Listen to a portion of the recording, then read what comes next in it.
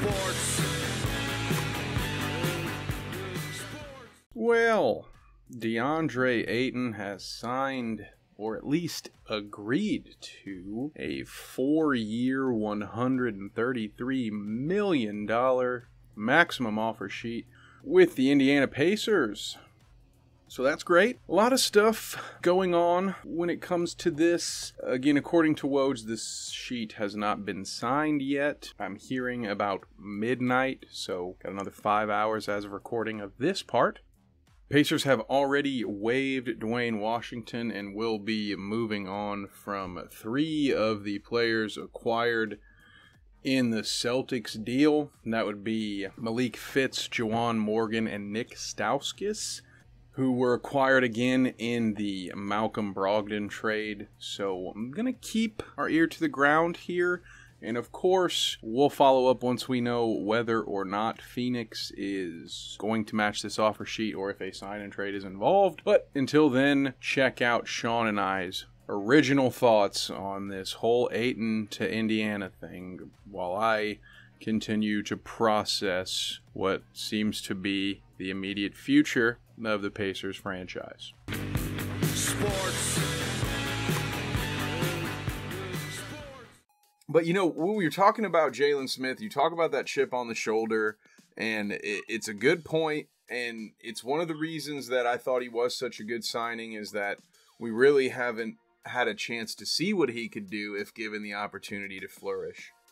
But then all of a sudden things break down in Phoenix between DeAndre Ayton and the front office. Uh, I will leave a link. Those of you who haven't heard our thoughts on all that, I'm not going to rehash it. We talked about it for 30 minutes. Go find that episode. we'll talk about that. So, for obviously for those who just want the very the TLDR, Sean disagrees and very adamantly believes that Phoenix should make amends and go ahead and sign Ayton. I, for what it's worth, if that offer is still on the table, if Ayton is willing to come to the table, I too am on team. Just go ahead and sign DeAndre Ayton and add pieces and run it back. Uh, however, it does not seem that that is the route that things are going to go. And the Pacers, for some reason, continue to be the name that gets mentioned with Ayton. And I personally kind of hate it. Not because I don't love Ayton. Sean, you know that I I love this man. I think the only the only person who talks about sports uh, on the air that loves Ayton more than me is probably you. Um, so you're talking to a couple of Ayton stands here, but I feel like the Pacers are just going to put Jalen Smith in the exact same position he was in, and I I just I don't know I don't know that spending all that money on Ayton if I'm the Pacers is worth it. Like to me, for Phoenix, it's worth it because you're right there. You went to the finals two years ago. You very likely, without injury, would have been there again this year, uh, and or at least in the Western Conference Finals. So uh, them spending the money on Ayton makes sense. The Pacers are two years away at best, and I just don't know that it makes sense to max a guy like Ayton when you have three first round picks and what's looked to be potentially a generational draft coming in 2023. I would almost prefer the Pacers to be bad than to add Ayton and be a guaranteed seven seed for the next three years. But Sean, am I crazy? No, not at all. I mean, that's that makes a lot of sense. I I hate to agree with you because I feel like, like you were saying, we've kind of been agreeing a lot. But these are all things you can't really. I mean, it's it's all makes sense. You know what I'm saying? There's really no I'd be bullshitting you if I tried to argue against it. You know what I'm saying? Like I'd be just arguing against it for the sake of arguing. Like it's just I can't do that, especially regarding these topics. You know what I'm saying? Like it's. Oh, I don't know. Like you, it'd be hard. I can only imagine being in your shoes and having, knowing that you could be getting someone like Ayton, but also how you're torn. Like if I had, if I had Jalen Smith right now on my squad, and I was hearing rumors as well. I probably feel the same way because I have something here. Quite frankly, it's a lot cheaper than signing someone like DeAndre Ayton, it gives me time to see what I have with this guy. If for some reason, you know, we play him for a couple of years and he turns out to stink it up, okay, I didn't spend a lot of money on him, and you know, I can ship his ass on somewhere else if I need to. and then I can you know get someone like a DeAndre Ayton or caliber that type of player a couple years from now, or might get lucky and get one in the draft. You know what I'm saying? I know, like you were saying, draft coming up is supposed to be pretty good.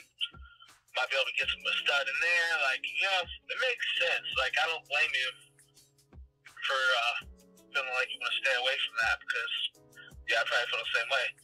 But at this current moment in time, I'm over here hoping to God they can make amends and, and resign this man in Phoenix because if not, fan country. I can tell you that. Because I mean, dudes, dudes aren't happy, man. Like they should have signed this man a year ago. Like they dicked off, they they put it off, they didn't sign him. You know, and I've heard that uh, a lot of it has to do. They just they feel like they can get someone of his caliber elsewhere. They don't need to pay that kind of money. They don't need to pay him max money.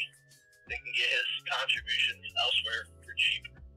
So I'm like, well, you want to be a cheap fuck and you know, and try to try to do that. That's cool, but I really don't think it's going to work out.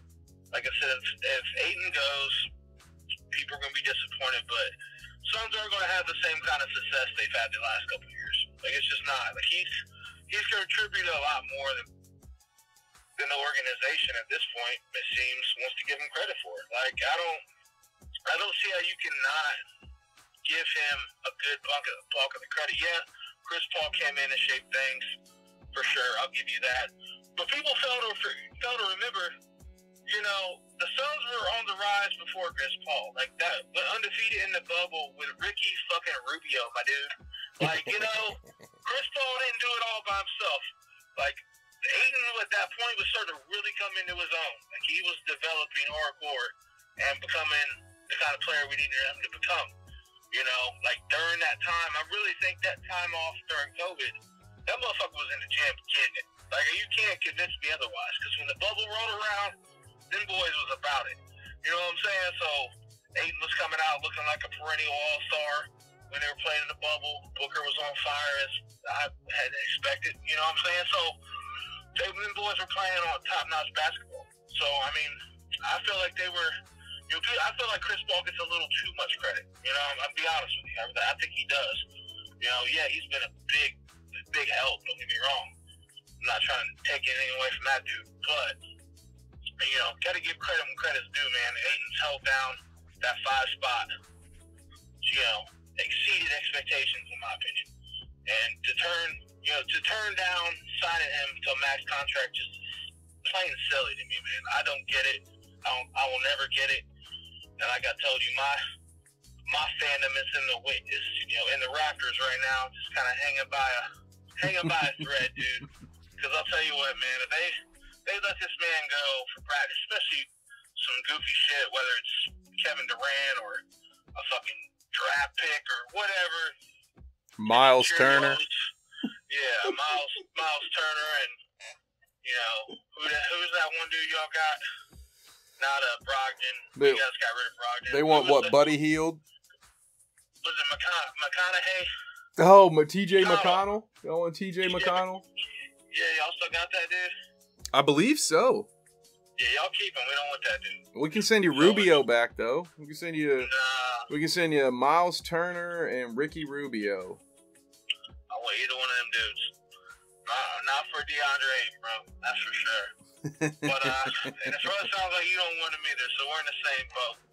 But uh, yeah, well, we'll see what happens, man. I'm sure whenever, whenever, I can almost guarantee you, whenever something does happen and there's news to be said about it, you, you as listeners can guarantee you're gonna hear me and Kat talk about it because we'll definitely, definitely have something to say.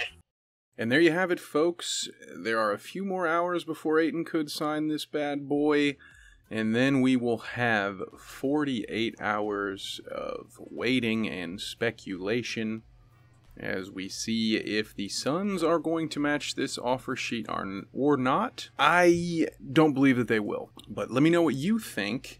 Uh, the Suns have had multiple opportunities to uh, sign Ayton if they thought he was a max guy up until this point, and they have not done so as of yet. But maybe they are just too damn afraid of getting nothing in return for a former number one pick. And I couldn't necessarily blame them. I'm sure you couldn't either. But hey, again, let me know what you think. And once this thing has all settled, we'll be here to discuss it again. See you next time.